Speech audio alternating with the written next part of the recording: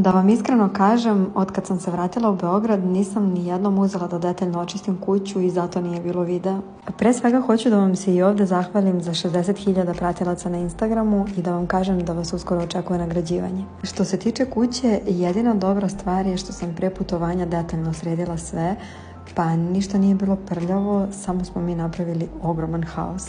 Inače, još u periodu kada smo krenuli na letovanje, ja sam krenula da sanjam neke užasne košmare. Pričala sam vam ranije da ja imam baš živopisne snove i da stalno sanjam i to mi je sasvim normalno, ali u poslednje vreme me snovi toliko opterete da ceo dan samo razmišljam o njima. Sanjam požare, krv, lopove. Bukvalno uveče kada treba da legnem, samo razmišljam šta ću noća sanjati.